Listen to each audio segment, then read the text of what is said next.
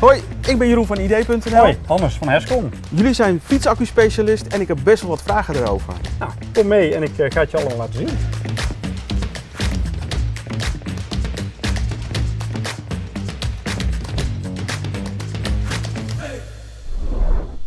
Hannes, ik Ja. heb mijn accu opgestuurd. Wat gebeurt er dan? Hoe gaat die revisie in zijn Ik ga werk? het je laten zien. Ik ga het je laten zien, kom mee. Het eh, begint met eh, uiteraard de ontvangst Ja. van de accu.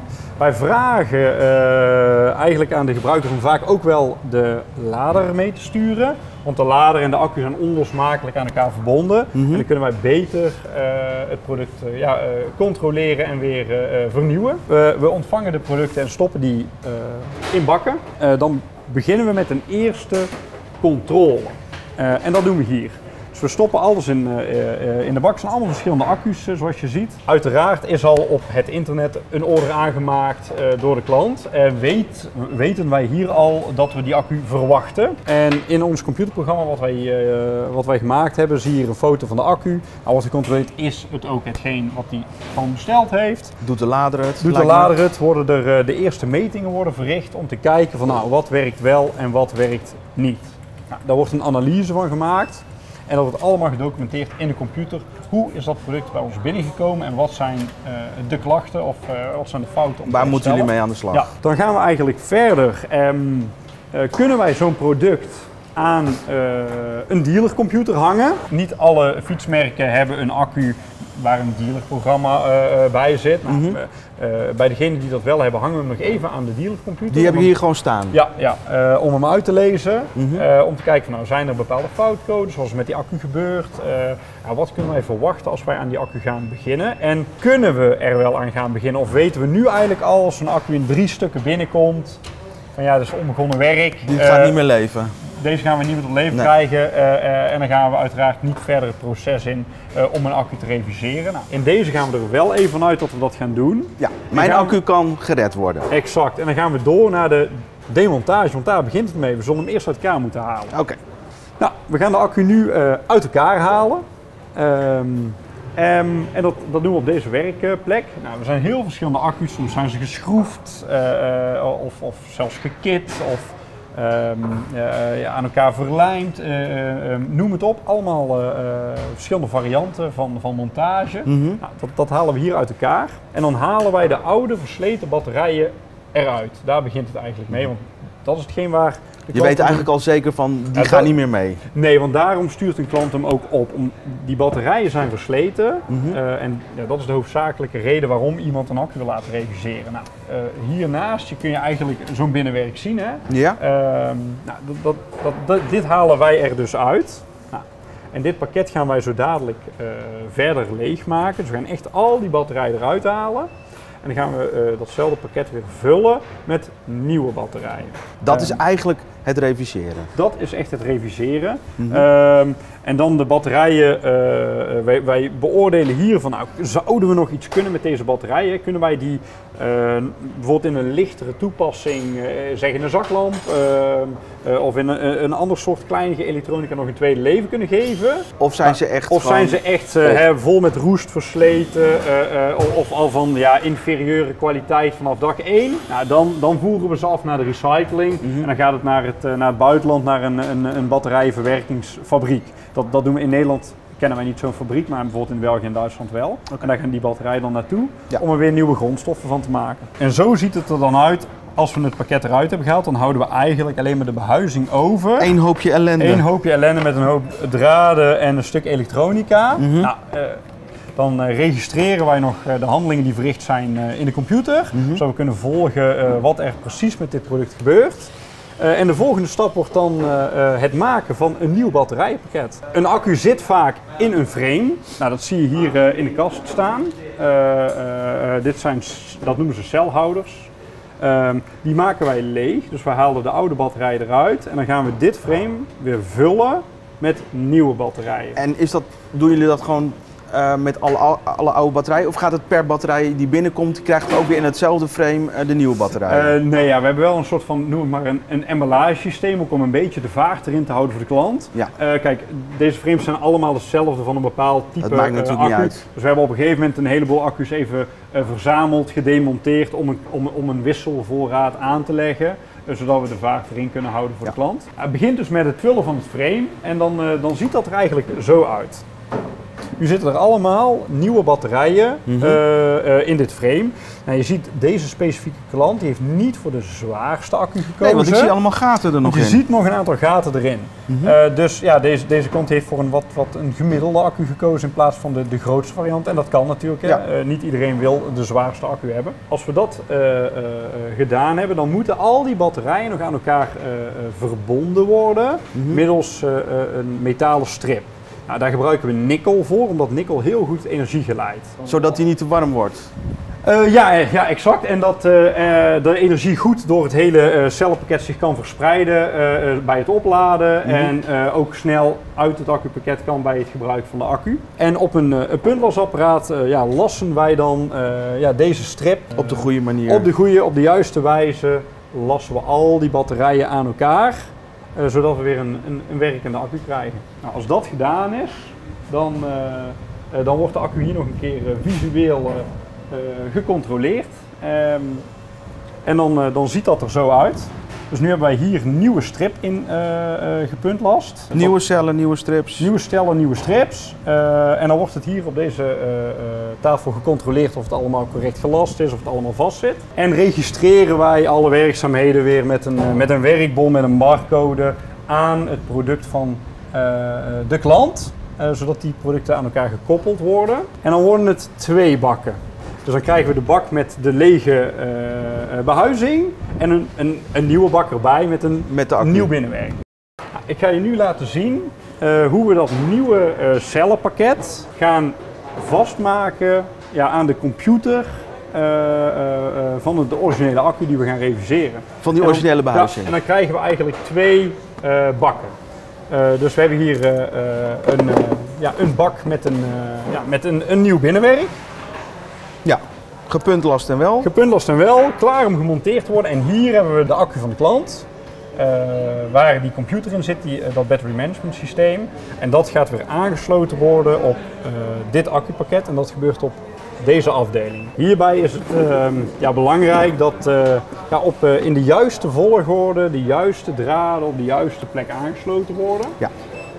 Eh, ja, omdat er eh, ja, heel veel verschillende eh, eh, accu's zijn, hebben we daar heel veel verschillende werkinstructies voor. En dat vindt, eh, vindt plaats op deze eh, werkplekken. Hoe lang duurt het eigenlijk voordat zo'n hele, eh, ja, dat ik dus mijn accu heb opgestuurd, hij komt eh, bij jullie binnen en dat hij weer klaar is? Ja. eh, Eh, eh, gemiddeld nemen wij daar zo'n twee weken eh, tijd Doorlooptijd. voor, eh, doorlooptijd voor. Eh, ja, het begint eigenlijk al met het, het opsturen, neemt al een dag in, eh, in beslag. Dan komt het binnen, ja, s ochtends of s middags is ook maar de vraag. Eh, dan moet het Ja. eh, uit elkaar gehaald worden, nieuw binnenwerk gemaakt worden. Eh, hier weer aangesloten worden. ja, het zijn een hoop stappen. Een hoop stappen, dan gaan we dadelijk die accu, als hij goed gemaakt is, moet die ook correct gesloten worden.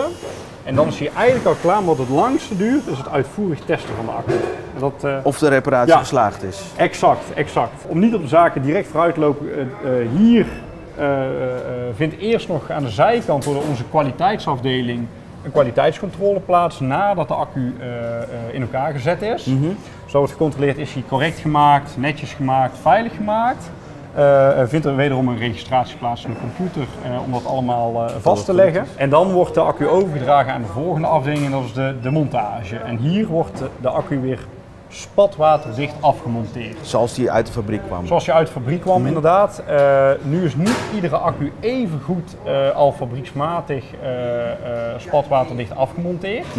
Sommige accu's zijn ook ja, eh, eh, van kunststof en na een jaar of vijf, zes wordt dat kunststof ook een beetje ja, krakkeleeg en, en zie je toch wel dat de leeftijd parten begint te spelen. Dus wij doen hier echt extra ons best om daar goed naar te kijken en eventueel met siliconenkit ook een extra, gewoon echt een extra afdichting Om aan te toch brengen. goed Om hem waterdicht te krijgen. Echt goed waterdicht te krijgen. Eh, Echt het spatwaterdicht eh, eh, eh, moet, moet een accu in Nederland zijn, omdat het hier toch wel frequent regent eh, als je op de fiets zit. Nou, is dat correct gebeurd, dan, eh, dan gaan we de accu eh, eh, opladen. En eh, ja, dat weet iedereen. Dat duurt een aantal uur. Niet te snel. Want ik heb begrepen, je kan ook maar beter niet een te grote lader of een lader met een te grote laadsnelheid Klopt, gebruiken, eigenlijk toch? als je, het beste voor een fietsaccu is als je gewoon een normale, rustige lader gebruikt die een uur of 6, 7 erover doet om een accu op te laden. Een snellader is oké voor erbij.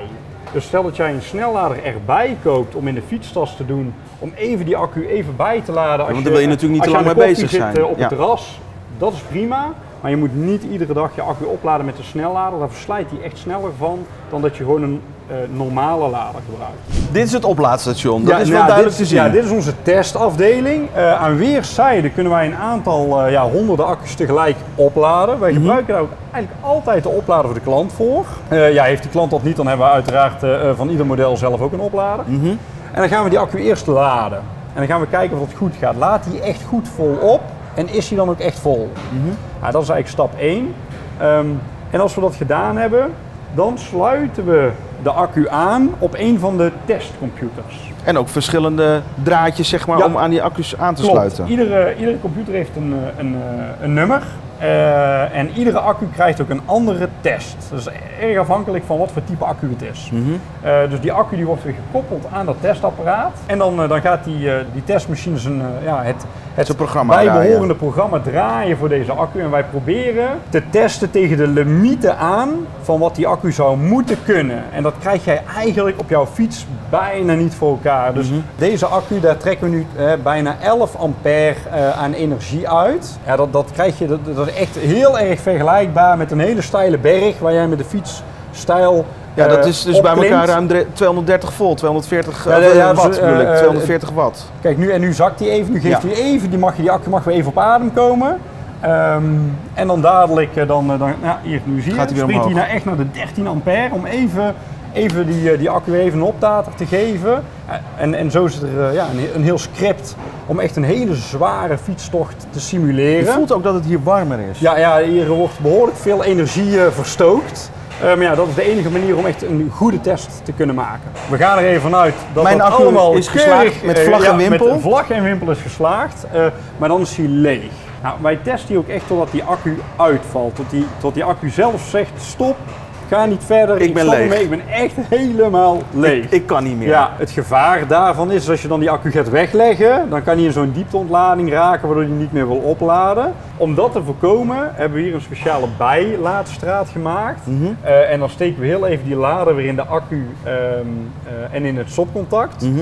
Eh, en als we hier op de knop drukken, dan krijgt die accu ongeveer 15 minuten weer spanning. Ja. En dan laden we die accu een klein beetje op, dat er net weer even gewoon ja, wat in zit, zodat we hem veilig kunnen transporteren terug naar de klant. Oké, dus als ik hem terugkrijg, moet ik hem thuis eerst zelf weer even Ja, opladen. Ja, en je krijgt van ons een uitgebreide werkinstructie waar dat in staat inderdaad. Maar wij versturen de accu's eigenlijk altijd leeg. ehm, eh, zodat ja, dat scheelt weer een dag wachten ook met, eh, eh, met opladen. En ja, dan kun je hem thuis gewoon eerst even aan de oplader leggen. En eh, ja, eigenlijk de dag erna eh, weer gaan fietsen. Dus als ik hem naar jullie toestuur, het liefst ook leeg. Leeg. Ja, ja eh, we- eh, de accu... Als het lukt dan. Als het lukt. Kijk, sommige accu's doen het niet meer. Nee, dat kan Meestal niet. zijn ze dan ook leeg. Maar een volle accu, ja, wij moeten die accu helemaal demonteren. En dat is gewoon wat veiliger als die leeg is. Gebeurt dat nou niet, dan trekken wij altijd eerst de accu zelf leeg voordat En we dat, eraan beginnen. vandaar dat je begint met meten. Ja, en als je dan uiteindelijk eh, ja, goedgekeurd is en afgetekend, ja, dan, eh, dan pakken we hem in en eh sturen hem terug naar de klant. terug.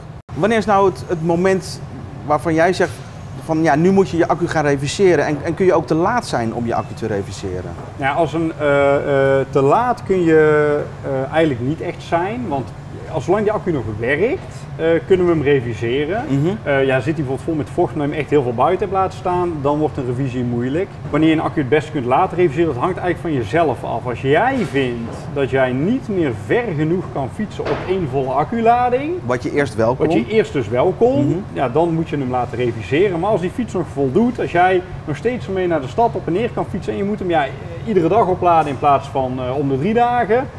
Ja, zolang hij nog meegaat, gaat hij nog mee en kun je ermee, ja, kun je ermee wachten. Ja, het is dus niet zo dat je van, oh, hij is bijna versleten. Doe het nu maar de revisie, want straks ben je te laat. Het is gewoon eigenlijk wanneer jij eraan toe bent. Ja, wanneer je er zelf aan toe bent. En ja, kijk, en dan zeggen wij, probeer dat een beetje aan te voelen en te doen voordat het mooi weer is. Zodat als het mooi weer is, je meteen lekker kunt fietsen. En je dan ook niet uh, ja, uh, twee of drie weken in de extreme drukte kan het oplopen naar soms wel drie weken wachten. Dat je gewoon sneller geholpen ja, en, wordt. En, en in de winter als het echt wat rustig is, kan dat zomaar ook binnen anderhalve week zijn. En wat nou als die accu ineens uitvalt, dat hij in één keer niet meer doet? Want meestal een accu die slechter wordt, die kan steeds minder ver. Maar wat ineens als die helemaal zwart wordt, zeg maar? Ja, kijk, eigenlijk bij een revisie vervangen wij de batterijen die erin zitten. Als een accu uh, van maandag op dinsdag ineens van perfect werken naar niets meer doen gaat, en dan kunnen we eigenlijk uh, met enige zekerheid al vaststellen dat in die computer die in die accu zit, dat battery management systeem, mm -hmm. dat zal waarschijnlijk daar een fout in zitten.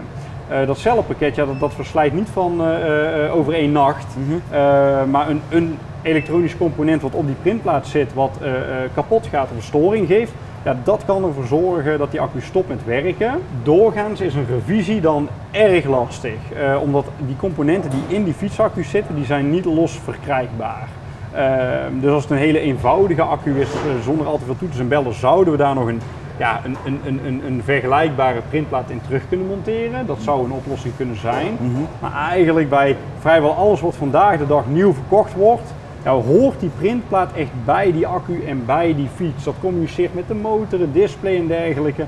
En dan, dan kun je dat eigenlijk niet repareren. Je zou het hooguit met een ander onderdeel kunnen vervangen, maar dat is iets wat wij hier niet doen.